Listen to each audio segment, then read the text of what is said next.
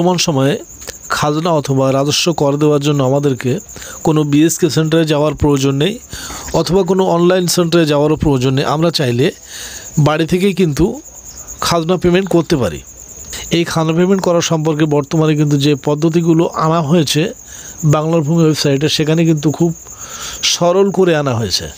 বিগত দিনে আমরা যেভাবে খাজনা কেটেছি, তখন কিন্তু অনেকগুলি জটিলতা সেখানে ছিল। বর্তমানে কিন্তু কোনো জটিলতা নেই। তো এই বিষয়টিকে মাথায় রেখে যদি আমরা বাংলার ভূমি ওয়েবসাইট ওপেন করে সেখান থেকে খাজনা পেমেন্ট করি, আমাদের কোনো রকম অসুবিধা হবে না। তো বন্ধুরা, তার জন্য আমাদেরকে প্রথমে একটি অ্যাকাউন্ট ক্রিয়েট করতে হবে বাংলার ভূমি ওয়েবসাইটে। এই অ্যাকাউন্ট আপনি কীভাবে ক্রিয়েট করবেন, আমার চ্যানেলের এন্ড স্ক্রিনে ভিডিও দেওয়া থাকবে, সেখান থেকে চাইলে দেখে নিতে পারবেন। আর যদি অ্যাকাউন্ট ক্রিয়েট করা থাকে, তাহলে আমরা আমাদের বাংলার ভূমি ওয়েবসাইটে লগ হয়ে যাব, তারপরে এখান থেকে আমরা একটি অপশন পেয়ে যাব। সিটিজেন সার্ভিস এই সেকশনে আমরা ক্লিক করে দেবো। এখানে ক্লিক করার সঙ্গে সঙ্গে আমরা অনলাইন অ্যাপ্লিকেশন উপরেই পেয়ে যাব। এই অনলাইন অ্যাপ্লিকেশনের এখানে ক্লিক করব। তারপরে আমরা এখানে পেয়ে যাব ল্যান্ড রেভিনিউ খাজনা অ্যাপ্লিকেশন এই সেকশনে আমরা ক্লিক করে দেব। তারপরে আমরা প্রথমে ডিস্ট্রিক্ট সিলেক্ট করব। এবারে আমাদের ব্লক সিলেক্ট করে নেব। তারপরে আমাদের মৌজা সিলেক্ট করব।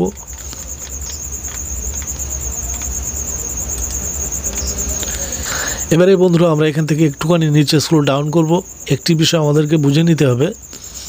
এখানে যে খতিয়ানটি আমরা এন্টার করব, এই খতিয়ানধারী ব্যক্তি জীবিত থাকতে পারে অথবা মৃতও হতে পারে এবং সে অনেক দিন আগেও মারা যেতে পারে এবং বর্তমান তিনি জীবিতও থাকতে পারে। যাই হোক না কেন, আমরা এখানে যে আবেদনটি করব, এখানে যে তার নাম দিতেই হবে তার কোনো বাধ্যবাধকতা নেই এবং অন্য কারও নাম যে দিতে হবে তারও কোনো বাধ্যবাধকতা নেই। তো আমরা এখানে কি করব সেই ব্যক্তির নামেই আবেদনটা করব। তিনি জীবিত থাক অথবা মৃত। তার কোনো ক্রাইটেরিয়া যখন দেওয়া হয়নি, তো আমরা তার নামে আবেদনটি করব ও সেই অনুযায়ী খতিয়ানধারী ব্যক্তির যে নাম আমরা এখানে দিয়ে দেব। এখানে ফার্স্ট নেম দিয়ে আমরা লাস্ট নেম দিয়ে দেব। তারপরে তার বাবার নাম অথবা মেয়ে হলে স্বামীর নাম আমরা এখানে দিয়ে দেব। তারপর আমরা তার ঠিকানা লিখে দেব। এবারে আমরা ওটিপি ভেরিফাই করব। এখানে একটি ফোন নাম্বার দিয়ে দেব। যার নামে খতিয়ান তার ফোন নাম্বার অথবা তার ফ্যামিলি থেকে একটি ফোন নাম্বার আমরা এখানে দিয়ে দেব। ওটিপি সেন্ড হলে আমরা ওকে বাটনে ক্লিক করে দেবো। তারপর আমরা অপেক্ষা করব ওটিপি আসার জন্য। আমাদের ওটিপি চলে এলেই আমরা ওটিপিটি এন্টার করে দেবো। তারপর আমরা যে কোনো একটি ফাঁকা জায়গাতে ক্লিক করব। এখানে যে ইমেল আইডি রয়েছে, এই ইমেল আইডি সেকশনে আমরা চাইলে আমাদের জিমেল অ্যাকাউন্ট দিতে পারি। যদি মনে হয় দেব না, কোনো সমস্যা নেই।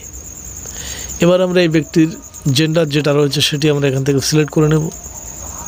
কাস্ট সিলেক্ট করব। এখানে রিলেশনশিপ মানে যিনি আবেদন করছে তার সঙ্গে এই খতিয়ানধারী ব্যক্তির সম্পর্ক কী হবে, তো আমরা এখানে সেলফি করব। খতিয়ান আমরা এখানে একটি এন্টার করে দেব। আমরা খতিয়ান এন্টার করে দিলাম। যদি বাটা খতিয়ান থেকে থাকে, সেক্ষেত্রে আমরা সাইডে বাটা খতিয়ানের সেকশনে দিয়ে দেব। যদি না থাকে, সেক্ষেত্রেও আমরা এই ফাঁকা ঘরে কিন্তু ক্লিক করে দেব। তারপরে আমরা বাইরে ক্লিক করব। এখানে প্রশ্ন করা হচ্ছে, এটি কি আপনার সঠিক খতিয়ান আমরা এখানে ইয়েস করব। আমরা স্ক্রল ডাউন করব। এটিকে আমরা, যদি আমরা কম্পিউটারের মাধ্যমে কাজটি করে থাকি, এখানে ক্লিক করে দেব। যদি আমরা ফোনের মাধ্যমে করি, ওখানে টাচ করব, আমাদের অটোমেটিক্যালি সিলেক্ট হয়ে যাবে। এখানে আমরা দেখে নেব জমির শ্রেণি। তো এই শ্রেণি অনুযায়ী আমি বর্তমান জমিটি কোন কাজে ব্যবহার করব, সেটি কিন্তু আমার এখান থেকে নির্দিষ্ট করতে হবে। তো যেহেতু বাস্তু জমি, আমি এখান থেকে বাস্তুই করলাম, যদি আমরা যদি আমরা দেখি যে শ্রেণির মুড এখানে বিলান রয়েছে, অথবা আমি এখান থেকে বাস্তুতে পরিণত করব, আমি বাস্তু কাজে ব্যবহার করছি, আমি বাস্তু করতে পারি। তো মূল কথা আমরা যে কাজে ব্যবহার করব, সেই অনুযায়ী এখানে ঠিক করব। তারপর আমরা এখান থেকে অ্যাড প্লট করব। আমরা অ্যাড করে নিলাম। চাইলে যদি কোথাও ভুল হয়ে থাকে, আমরা এখান থেকে ডিলিট করতে পারি। পুনরায় আমরা এই সেকশানে প্রসিড ফার্দার এই সেকশানে ক্লিক করে দেবো। যদি আমরা আনরেকর্ডেড প্রপার্টি ডিটেলসে ক্লিক করি, সেক্ষেত্রে আমাদের যে দলিল মূল্যে আমরা সম্পত্তি কিনে থাকি, ক্রয় করে থাকি, সেক্ষেত্রে কিন্তু দলিল অনুযায়ী খানা কাটতে হবে। তো কীভাবে দলিল দিয়ে খাজনা কাটতে হয়? আমার বিগত ভিডিওতে আলোচনা করা আছে। তো আমি এখান থেকে প্রসিড ফার্দার এই সেকশানে ক্লিক করে দেবো। সেমনি এখানেও কিন্তু প্রশ্ন করা হচ্ছে ফ্যামিলি মেম্বারদের ভিতরে কারও কোনো সম্পত্তি কোথাও আছে কিনা থাকলেও আমরা নো করব, না থাকলেও নো করব। এবারে আমরা ক্যাপচা ফিল করব এই সেকশানে তার আগে বন্ধুরা, যদি আমাদের কোনো পঞ্চায়েত অথবা মিউনিসিপ্যালিটির খাজনা রসিদ থেকে থাকে বিগত দিনের যেহেতু এই সিস্টেমগুলি কিন্তু নতুন নতুন চালু হয়েছে, তেইশ তেইশের আগেও চালু হয়েছে, তো সম্পূর্ণভাবে সক্রিয় হয়নি তো সব জায়গাতে।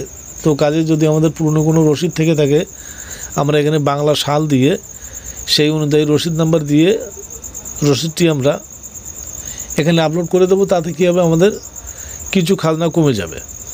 তো আমি এখানে জাস্ট এই ক্যাপচারটি ফিল করব, তারপর শর্তাবলীতে ক্লিক করে দেব। এখানে কিন্তু আবারও প্রশ্ন করা হচ্ছে প্রিভিয়াস মানে বিগত দিনে কোনো খাজনা রসিদ আছে কি না আমরা এখান থেকে নো করে দেব। এবারে আমরা সাবমিট বাটনে ক্লিক করব জাস্ট এইটুকুই কাজ আমাদের। আমরা সাবমিট বাটনে ক্লিক করে দিলাম, এখানে আমাদেরকে দুশো পাঁচ টাকা খাজনা দিতে হবে বর্তমান। তো আমরা ওকে বাটনে ক্লিক করে দেবো, তার আগে আমরা এটিকে অ্যাপ্লিকেশন নাম্বারটিকে কপি করে নেব। এবার আমরা ওকে বাটনে ক্লিক করে দিলাম। এখান থেকে আমরা ফিস পেমেন্ট এই সেকশানে ক্লিক করব। আমরা যদি অ্যাপ্লিকেশন ডাউনলোড করতে চাই, এই সেকশানে ক্লিক করে আমরা অ্যাপ্লিকেশন ডাউনলোড করে নিতে পারি। তো আমরা ফিস পেমেন্টে চলে যাব।